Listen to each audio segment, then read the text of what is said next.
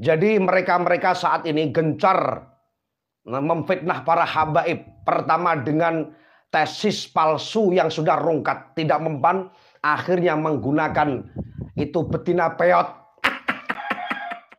Assalamualaikum warahmatullahi wabarakatuh Pada kesempatan yang sangat berbahagia ini kita akan memang sebuah video di mana dalam video tersebut ada seorang wanita yang memfitnah oknum Habib yang katanya dilecehkannya. Lantas bagaimana tanggapan kiai yang satu ini? Langsung saja kita simak videonya. Saya orang yang pengen benar-benar hijrah. Beliau adalah seorang alim ulama tapi melakukan seperti itu. Dan saat ini yang sedang rame yaitu si anu betina peot, betina peot gemblung yang tak tahu diri yang katanya dia itu diihi-ihi tetapi fakta kenyataannya lapornya tidak ke polisi tetapi di mana saudara? Di porkes porkes saya tanya anda katanya dilecehkan kok anda larinya per ke podcast podcast apa tujuan anda? Biar dapat uang Hah? saya tanya.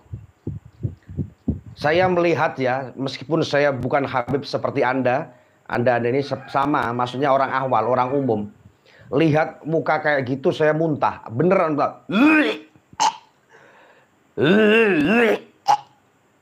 Muntah saya. Ya. Nah, kebenaran saat ini sudah nampak. Ketika Habib itu difitnah, beliau langsung lapor ke polisi. Nah, itu. Jadi kita saat ini sudah bisa menilai ketika ada seseorang yang difitnah langsung lapor ke polisi. Nah, itu Habib. Habib siapa itu? Habib Rifki ya. Dan yang satunya yang katanya tertuduh atau diapa-apakan itu lapornya ke podcast sana sini. Dilihat dari mukanya aja saudaraku sang betina peot ini tak ada harga dirinya sama sekali. Dia itu apa? Eh, PD. Dia itu seakan-akan bangga dengan apa yang dia lakukan yaitu kemaksiatan live sambil rokok.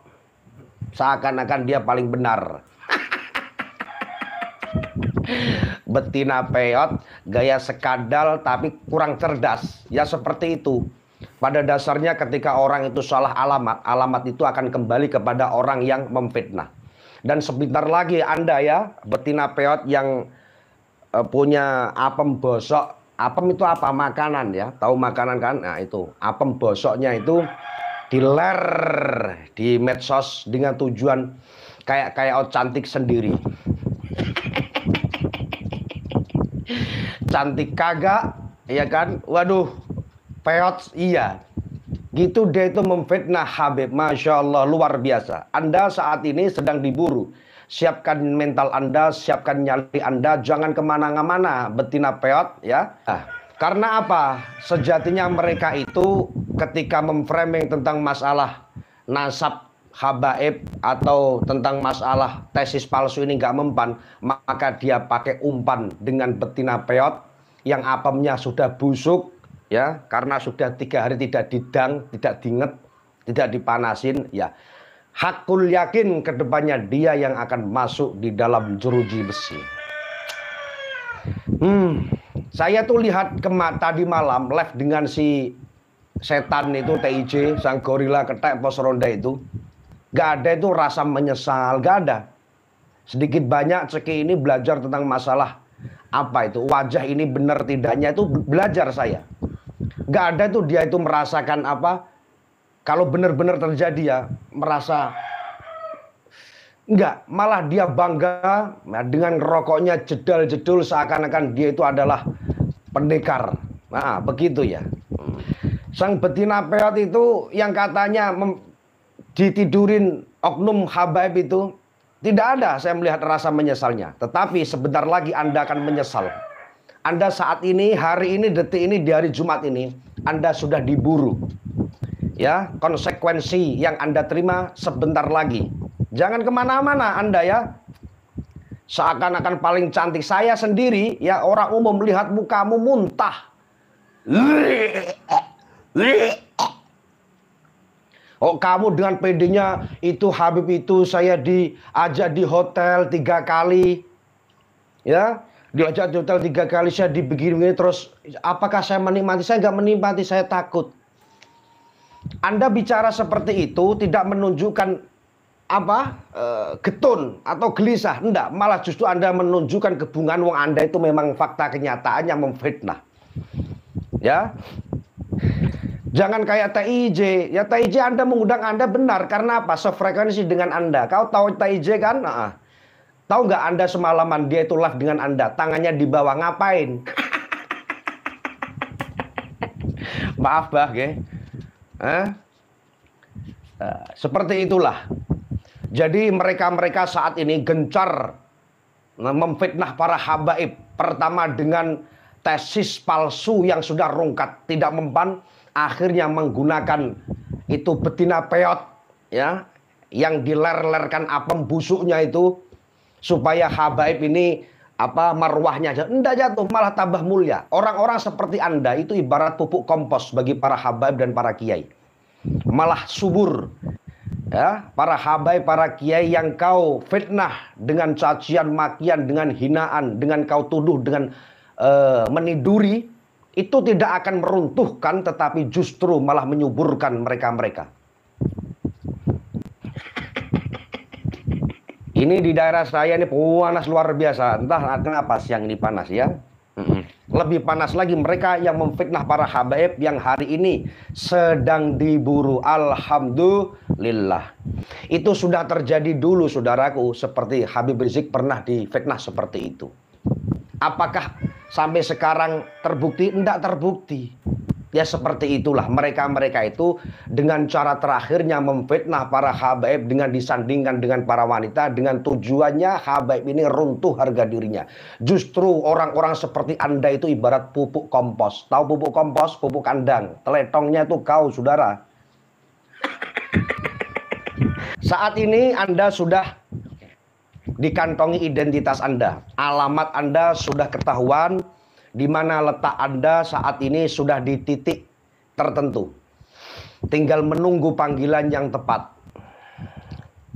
Anda dengan PD-nya mengatakan tanggal sekian sekian IITE sekarang sudah menyiapkan.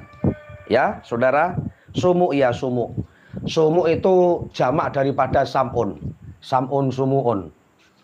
Apa tuh iki jane? Ya, seperti itulah. Ini orang memang sudah saya lihat ini gila. Kemarin nangis-nangis ya kayak pakai kerudung, pakai jilbab, tadi malam live sama si ketek gorila pos ronda itu. Hati-hati ya. Ucapanmu akan kembali terhadap dirimu sendiri.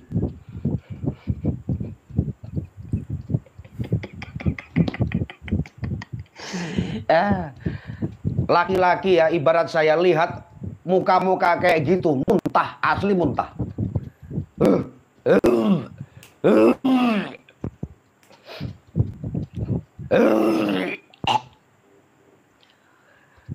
Cantik kagak busuk iya memfitnah para habaib. Itu tugas anda.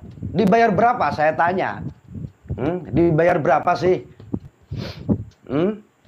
dapat bayaran besar ya kalau Anda memfitnah habaib terus viral, dapat bayaran besar. Saya tanya. Hmm. Anda itu kalau benar-benar dilecehkan, seharusnya lapornya ke polisi, betina peot, ya. Bukan ke podcast-podcast supaya Anda dapat keuntungan. Nah saat ini yang Anda fitnah, yang Anda tuduh, Habib itu melapor ke polisi. Dari sini sudah ketahuan, sudah kelihatan kalau Anda itu sudah bohong. Anda itu dimanfaatkan oleh gorila pos ronda itu. Ya gitu. Ketika ada yang memfitnah para habib didukung. Dukungnya itu di konten, bukan dukung ayo dong laporkan ke polisi. Kenapa? Kalau dalam logika si betina pet ini nggak mau melaporkan ke polisi karena takut kebongkar palsu. Kan begitu saudaraku dalam logika. Ya. Saya nggak lapor ke polisi ya. Lah kenapa? Saya takut ini bohong bohong saya ini ketahuan. Makanya saya lapornya di di channel-channel sampah itu. Tahu kan channel-channel sampah? Saya dikinikan oleh oknum HPF lapornya di konten, lapornya di para apa kreator-kreator sampah. Kenapa nggak ke polisi ya? Kenapa saya tanya sama betina peot ini? Takut ketahuan bobroknya, takut ketahuan busuknya ya. Nah, takut ini ah, takut apa fitnahanmu itu terbongkar. Nah. Aduh, Allah karim, Allah karim. ya. Alhamdulillah dengan ke depannya ini oknum habaib yang difitnah itu ada jalan keluar sebentar lagi. Ya, jadi Anda jangan pura-pura gila sang betina peot, ya, jangan pura-pura gila, jangan pura-pura nangis. Nangismu di hadapan eh, pengadilan nantinya tidak akan pernah berguna. Yang berguna satu CCTV yang katanya Anda diajak di hotel, itu hotelnya mana sedang diselidiki. Seandainya itu hotelnya misalnya hotel madu atau hotel mana itu akan diselidiki. Tim kepolisian akan menanyai apakah benar si betina peot ini pernah ke ke sini. Oh pernah pernah misalnya. Tanggal berapa jam berapa CCTV-nya mana mana check innya di situ akan kelihatan semua. Dan ingat apa yang anda ucapkan terhadap para habaib para habib itu tidak akan pernah bisa anda lari kalau benar-benar anda fitnah. Ya jadi Kori Ani dua Kori ini memang orangnya tolol ya yang satu Kori yang yang jantan itu yang brengosen itu yang pakai gini itu sama tolol Terus yang satunya ini keluar-keluar di media sosial. Uduh tadi malam live sama ketek gorila pos ronda itu saudaraku. Hmm, dengan PD-nya tidak merasa bersalah. Ada nggak tadi malam Anda lihat live-nya? Ada merasa bersalah enggak dia? Ada merasa merasa korban? otomatis jujur ya saudara. Orang itu kalau memang benar-benar itu di diperkosa atau dilecehkan beneran itu mukanya sedih beneran sedih luar biasa ini enggak menunjukkan kebahagiaan di dalam podcastnya di dalam podcastnya dengan tujuan harapan netizen Indonesia itu mendukung dia tetapi fakta kenyataannya sebentar lagi akan kelihatan saudaraku ya Nah, sahabatku yang dimuliakan oleh Allah Subhanahu wa taala, mungkin cukup sekian videonya. Semoga bermanfaat dan berkah. Assalamualaikum warahmatullahi wabarakatuh.